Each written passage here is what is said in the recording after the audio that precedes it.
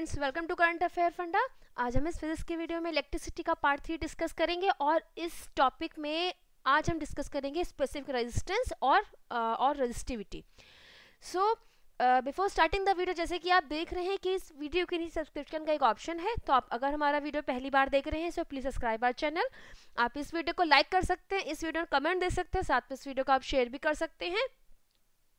सो let us start इससे previously जो इसका सेकेंड पार्ट था, उसमें हम डिस्कस कर रहे थे कि किस तरीके से जो कंडक्टर है, उसकी क्या प्रॉपर्टीज़ हैं। दैट मीन्स कि that means the topic of resistance कि रेजिस्टेंस क्या है। और साथ में हमने लास्ट में जो उसकी स्लाइड थी, जहाँ हमने लीव किया था दैट इज़ द फैक्टर जो रेजिस्टेंस को अफेक्ट करते हैं। मतलब कौन कौन से ऐसे फैक्टर हैं, जो किसी कंडक्टर की रेजिस्टेंस पावर को अफेक्ट करते हैं। और वो हमने चार फैक्टर बताए थे। Now these are the length of the conductor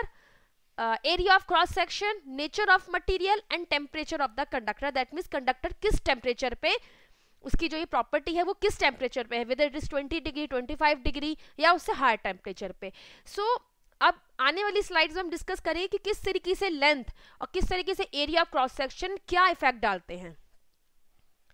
सबसे पहले हम बात करते हैं कि जो रेजिस्टेंस पावर होती है किसी कंडक्टर की उस पर लेंथ का क्या इफ़ेक्ट है? मतलब लंबाई का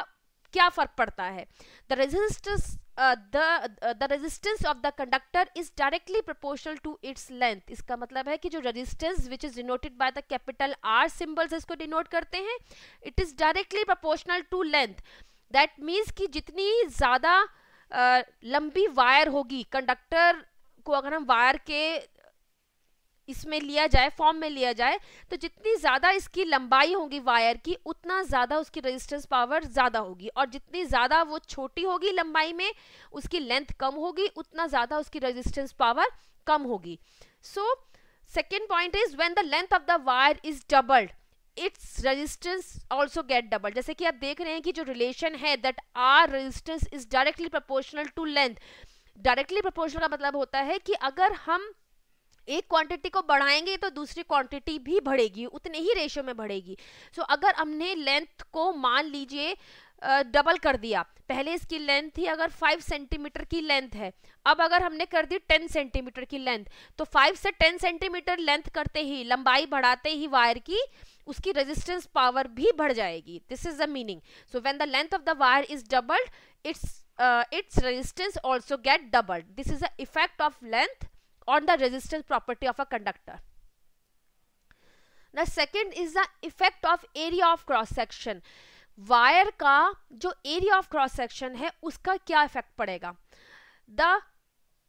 the resistance of a conductor is inversely proportional to its area of cross section R is inversely proportional इसको हम लेंगे डिनोमिनेटर में, इसका मतलब है कि जितना एरिया ऑफ़ क्रॉस सेक्शन कम होगा उतना ज़्यादा रेजिस्टेंस पावर उस कंडक्टर की उस वायर की ज़्यादा होगी। This is the inverse relation so when the area of cross section of a wire is doubled अगर हम इस एरिया को डबल्ड कर देंगे एरिया आप जानते हैं कि वो हमेशा स्क्वायर यूनिट में होता है। सो so, जब अगर हम वायर का एरिया ऑफ़ क्रॉस सेक्शन बढ़ा देंगे उसको डबल कर देंगे तो ये हो जाएगा हाफ़ क्योंकि ये इनवर्स रिलेशन में है।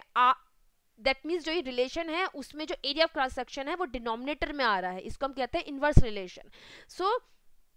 अगर इसको हम फोर टाइम्स कर देते हैं एरिया ऑफ़ क्रॉस सेक्शन को, मान लीजिए हमने इसको फोर टाइम्स कर दिया तो जो इसका रेजिस्टेंस है वायर का, वो हो जाएगा one by four R become one by four that means इसका मतलब क्या हुआ कि जो थिक वायर होती है थिक वायर और मोटी वायर का एरिया ऑफ़ क्रॉस सेक्शन ज़्यादा होता है। थिक वायर और मोटी वायर का मतलब it has more area of cross section उसका एरिया ऑफ़ क्रॉस सेक्शन ज़्यादा है। अगर उसका एरिया ऑफ़ क्रॉस सेक्शन ज़्यादा है, इसका मतलब है कि उसका रेजिस्टेंस जो कैपेसिटी है, जो उसकी रेजिस्टेंस की पावर है, वो कम है। So thick wire has less resistance while a thin wire, जो पतली वायर होती है, उसका क्रॉस सेक्शन एरिया कम होता है। It has less area of cross section so there इसकी जो रेजिस्टेंस पावर होती है थिन वायर की, वो ज़्यादा होती है। तो इसका मतलब क्या हुआ कि अगर हमें कोई रजिस्टर बनाना है सर्किट में कोई रजिस्टर वायर की फॉर्म में लेना है तो उसमें अगर हमें उसका रेजिस्टेंस पावर ज़्यादा चाहिए तो वो होना चाहिए एक तो थिन जिससे कि उसका एरिया ऑफ़ क्रॉस सेक्शन कम हो जाए और उसकी रेजिस्टेंस पावर बढ़ जाए। That should be thin wire और इसके साथ में अगर हम लंबी वायर लेंगे, जो हमने प्रीवियस स्लाइड में देखा, अगर हम लंबी वायर लेंगे तो तब भी उसकी रेजिस्टेंस पावर ज़्यादा होगी। इसका मतलब है कि जो गुड रजिस्टर होते हैं, उनकी जो वायर होती है, वो होती है थिन और इसके साथ में लंबी वायर होती है। ना नेचर ऑफ़ मटेरियल पे किस तरीके से डिपेंड करता है? The electrical resistance of a conductor depends on the nature of the material इसका मतलब है कि जो रजिस्टर बना हुआ है वो किस किस मटेरियल का उसका प्रधात क्या है? क्योंकि जैसे आप जानते हैं कि जो ये रेजिस्टेंस की प्रॉपर्टी होती है ये एक मैटर की और ये मटेरियल की प्रॉपर्टी है। तो अगर मटेरियल जितने भी मटेरियल हैं उनकी अलग अलग आ, उनकी रेजिस्टेंस पावर है कि वो किस किस पावर से वो करंट को अपने में बहने से रोकते हैं। For example the resistance of nichrome जो resistance that is a alloy ये एक एलॉय है, और इसका इस्तेमाल किया जाता है हीटिंग एलिमेंट बनाने में। जो इलेक्ट्रिकल अप्लाइंसेज होते हैं टोस्टर है, या प्रेस है, इसमें जो हीटिंग एलिमेंट होता है, वो नाइक्रोम का बना हुआ होता है। इसका जो रेजिस्टेंस पावर है, वो 60 टाइम्स हायर है than a copper wire copper wire से इसका जो रेजिस्टेंस पावर है वो 60 गुना ज़्यादा है। सो so, इसका मतलब है कि जो मटेरियल की जो रेजिस्टेंस पावर है वो उसके नेचर पे और वो दैट मीन्स कि वो कौन सा मटेरियल है इस पे भी डिपेंड करती है। इफ़ेक्ट ऑफ़ टेम्परेचर टेम्परेचर का क्या इफ़ेक्ट है? The resistance of all pure metal जितनी भी प्योर मेटल्स हैं whether it is aluminium copper और सिल्वर uh, और gold these all are metals इनकी जो रेजिस्टेंस पावर होती है, ये इंक्रीज होती है ऑन रेजिंग द टेम्परेचर जितना ज़्यादा हम टेम्परेचर को रेज करते जाएँगे, जितना जितना ज़्यादा टेम्परेचर बढ़ता जाएगा, उतना ज़्यादा जो रेजिस्टेंस पावर है, वो इन मेटल्स की बढ़ती जाएगी. लेकिन जो एलॉय के बारे में हम बात करें, जैसे कि मैगनीन और या फिर कॉन्स्टेंटन या नाइक्रोम इन पे कोई टेम्परेचर का बहुत ज़्यादा इफ़ेक्ट नहीं पड़ता है। जो इनकी रेजिस्टेंस पावर है, उसके ऊपर बहुत ज़्यादा इफ़ेक्ट नहीं होता है। लेकिन जो मेटल्स हैं, उनकी रेजिस्टेंस पावर अफेक्ट हो जाती है with the increase of temperature जितना ज़्यादा हम टेम्परेचर बढ़ाते जाएँगे, इनकी जो रेजिस्टेंस पावर है मेटल्स की वो बढ़ती जाएगी, जबकि एलॉयस के ऊपर इसका कोई खास फ़र्क नहीं पड़ता है। Now come to the term resistivity और रेजिस्टिविटी को हम स्पेसिफिक रेजिस्टेंस भी कहते हैं। इसका एक अनदर नेम है that is the specific resistance और ये रेजिस्टिविटी की प्रॉपर्टी है ये एक मटेरियल की इसकी एक इंट्रेंसिक uh, प्रॉपर्टी है। मतलब इसकी खुद की एक प्रॉपर्टी है ये। और ये जो प्रॉपर्टी है ये इसको हम एक्सपेरिमेंटली डिटर्मिन करते हैं। जैसे कि इसके कुछ डाटा भी हैं और जो अलग अलग मेटल्स हैं एलॉय हैं उनकी अलग अलग स्पेसिफिक रेजिस्टेंस है जिसको एक्सपेरिमेंटली डिटरमिन किया जाता है। सो so, इसको हम कैसे डिफाइन कर सकते हैं? मतलब कि ये क्या है और इसका रिलेशन कैसे निकलेगा? जैसे हमने बताया कि जो रेजिस्टेंस होता है रेजिस्टेंस मतलब कैपिटल आर दैट मीन्स प्रतिरोधक क्षमता किसी कंडक्टर जो कंडक्टर अपने में से करंट को बहने से रोकता है because of this property that is a resistance इसको हम रेजिस्टेंस कहते हैं और इसको हम डिनोट करते हैं कैपिटल आर से। हमने इससे प्रीवियस स्लाइड में क्या देखा कि जो रेजिस्टेंस प्रॉपर्टी है कंडक्टर की it is directly proportional to its length वो आर दैट मीन्स जो capital R is directly proportional to length जितना ज़्यादा लेंथ होगी कंडक्टर की इसको अगर वायर की फॉर्म में हम लेते हैं तो जितना ज़्यादा वायर लंबी होगी, उतना ज़्यादा रेजिस्टेंस पावर ज़्यादा होगी। और एरिया ऑफ़ क्रॉस सेक्शन से ये कैसे वेरी करता है? जितना ज़्यादा एरिया ऑफ़ क्रॉस सेक्शन ज़्यादा होगा, उतना ज़्यादा रेजिस्टेंस पावर कम होगी। इसका मतलब है कि जो R is inversely proportional to A so इन दोनों रिलेशन से वन एंड टू इन दोनों रिलेशन से हम एक रिलेशन निकालेंगे, जो कि रेजिस्टिविटी का रिलेशन होगा। That means R is directly proportional to L R is directly proportional to L and R is inversely proportional to area of cross section. Now, इन दोनों रिलेशंस को मिलाकर that means R is directly proportional to L and R is inversely proportional to A that is relation one that is relation two इन दोनों relation को combined form पे हम कैसे लिख सकते हैं? That resistance of a conductor is proportional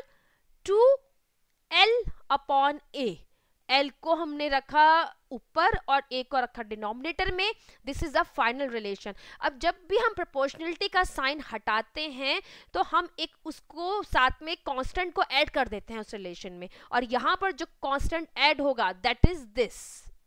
ये है rho that is the specific resistance और द रेजिस्टिविटी ये जो कांस्टेंट है, जब हमने प्रोपोर्शनल का कांस्टेंट इस रिलेशन में से रिलेशन थ्री में से हटाया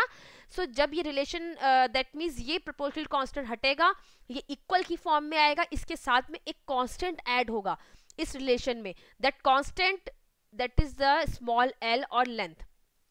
ये जो कांस्टेंट है इस इसका नाम है रो और इसको हम कहते हैं the resistivity of the material this is the resistivity and it's also known as the specific resistance इसी का नाम है स्पेसिफिक रेजिस्टेंस सो जैसे कि हम बात करते हैं द uh, रेजिस्टिविटी अब जो रिलेशन था वो था R is equal to rho into L divided by A अगर मुझे इस थर्ड रिलेशन में से, जो हमने लास्ट स्लाइड में देखा था, उसमें से अगर मुझे रेजिस्टिविटी और स्पेसिफिक रेजिस्टेंस का रिलेशन निकालना है तो वो कैसे होगा? ए को इस तरफ़ लेके जाएँगे now it becomes multiply with R और एल आ जाएगा डिनोमिनेटर में। इसका मतलब है, इसका रिलेशन अब बन जाएगा आर इंटू ए और एल आ गया इसके डिनोमिनेटर में। So therefore this becomes a relation that is a relation of specific resistance और the resistivity where R is the resistance of the conductor and A is the area of cross section of the conductor and L is a length of the conductor अब इसकी unit क्या होगी? जो specific resistance की हम बात कर रहे हैं, इसकी यूनिट क्या होगी? इसकी ऐसा यूनिट है ohm metre the SI unit of resistivity is ohm metre देखिए अब यहाँ इसको इसको अगर आप रिलेशन से भी फाइंड आउट कर सकते हैं सो so, जैसे आप जानते हैं कि जो रेजिस्टेंस की जो एस यूनिट है वो है ओम उसका सिंबल है इस तरीके से. That is the I unit of resistance into area of cross section हमेशा हम स्क्वायर यूनिट में लेते हैं और जो उसके आई यूनिट है वो है metre square so metre square लीजिए which is divided by length length की आई यूनिट है metre this is the unit of the specific resistance ये स्क्वायर से इसका ये मीटर कैंसिल आउट हो जाएगा तो यहाँ पर आ जाएगा relation that is the ohm metre this is the S I unit of specific resistance so the now the the of a conductor is numerically equal to the resistance of a a of that substance which is one metre long and one square metre in cross section अगर ये जो fourth relation है that is R into A divided by L which is equal to the specific resistance इसमें अगर हम कोई एक ऐसा रॉड है या एक ऐसा मटेरियल है या एक ऐसी वायर है, जिसकी लेंथ है वन मीटर और इसका एरिया ऑफ़ क्रॉस सेक्शन है वन मीटर स्क्वायर इसका मतलब है इसको यहाँ सब्सिट्यूट करके आप देखिए आर इंटू ए की जगह पे हमने लिख दिया one metre square divided by length की जगह पे हमने वन मीटर लिया, क्योंकि हमारे पास जो रॉड है या जो वायर है वो वन मीटर लंबी है और इसका एरिया ऑफ़ क्रॉस सेक्शन है वन मीटर स्क्वायर तो इसकी स्पेसिफिक रेजिस्टेंस क्या होगी? इसकी इसकी जो स्पेसिफिक रेजिस्टेंस होगी that is equal to rho is equal to R that is the ये जो बीच का सेंटेंस है कि द दैट uh, ये जो रो है ये क्या है? That is a specific resistance और the resistivity of a conductor is numerically equal to the resistance और कैपिटल आर के इक्वल कब होगी? जब अगर हम किसी मटेरियल का उसका एक ऐसा वायर या रॉड लेते हैं जो कि एक मीटर लंबी है और साथ में उसका वन स्क्वायर मीटर उसका एरिया ऑफ़ क्रॉस सेक्शन है और दैट ये जो हमने करा है दैट इज़ इट ये एक पर्टिकुलर टेम्परेचर पे है। दैट मीन्स 20 डिग्री सेंटीग्रेड पे ये जो हमने करा है, क्योंकि हम जैसे हम कह रहे हैं कि जो रेजिस्टेंस है और रेजिस्टिविटी है, वो टेम्परेचर डिपेंडेंट है, वो टेम्परेचर का फ़र्क पड़ता है उसका। अब अनदर थिंग इज़ दैट कि जो रेजिस्टिविटी है, वो पूरी तरीके से nature of the material and the temperature से अफेक्टेड है। इसके अलावा length and the area of cross section का इस पर कोई असर नहीं पड़ता है। जैसे कि हम एक एग्ज़ाम्पल लेते हैं दैट इज़ uh, जैसे कि हमने सिल्वर का लिया। सिल्वर का जो स्पेसिफिक रेजिस्टेंस है एट 20 डिग्री सेंटीग्रेड पे ये डाटा है सारा। सिल्वर का जो स्पेसिफिक रेजिस्टेंस है वो है 1.60 point six zero into ten raise to the power minus eight ohm metre और इसके अलावा है कॉपर कॉपर का जो स्पेसिफिक uh, रेजिस्टेंस की वैल्यू है वो है 1.69 point six nine into ten raised power minus eight ohm metre इसके अलावा एल्यूमिनियम का एक और ले लेते हैं that is 2.63 point six three into ten raised power minus eight ohm metre ये है रजिस्टिविटी की value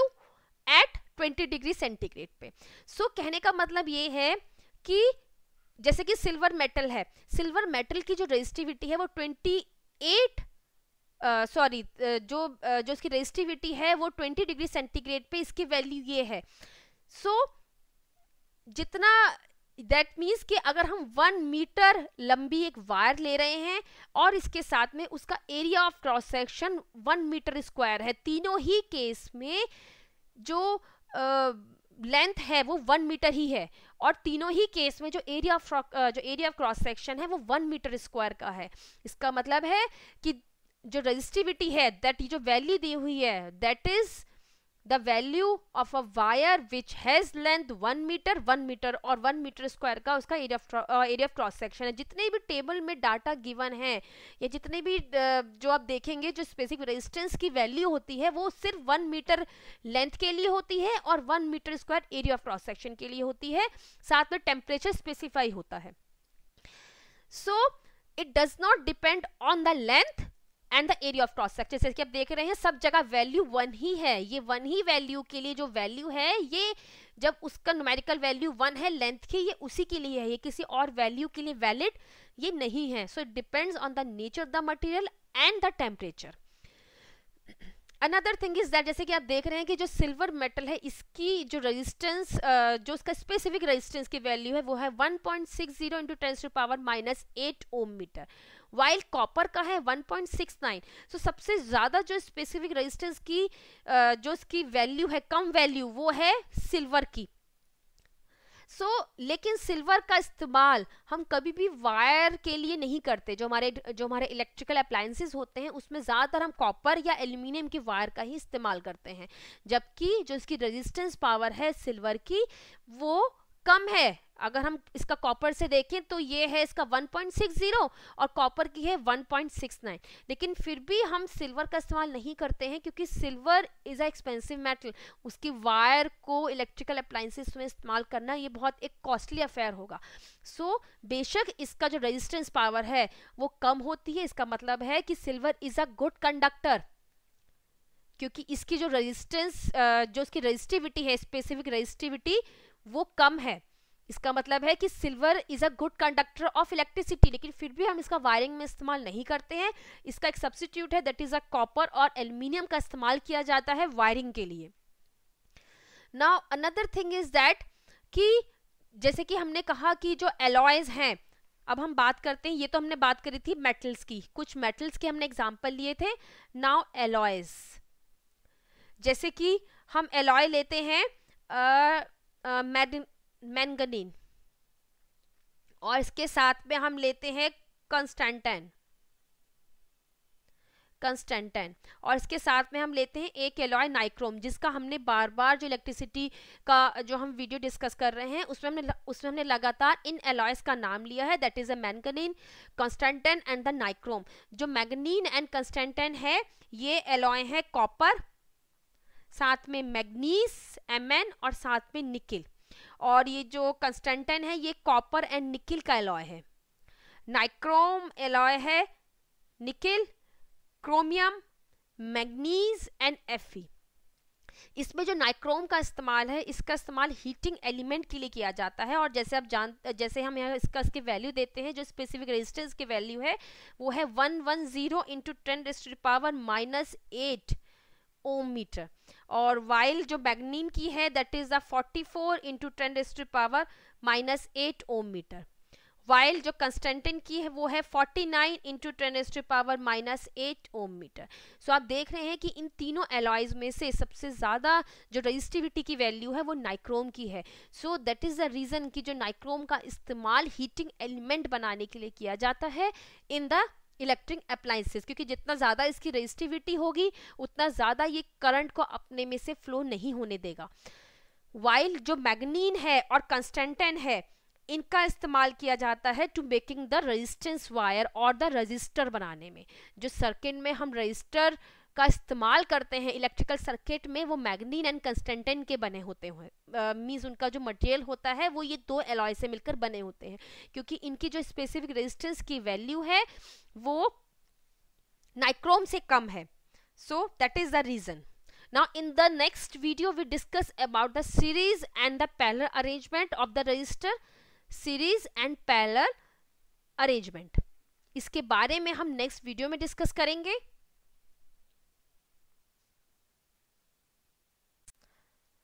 With this note we end our session so इस टॉपिक से रिलेटेड वीडियो आपको प्लेलिस्ट में मिल जाएँगे। अगर आपने अभी तक हमारे चैनल सब्सक्राइब नहीं किया है तो please subscribe our channel this is our Twitter handle link this is our Facebook page and this is our website so with this note thanks thanks for listening me have a nice day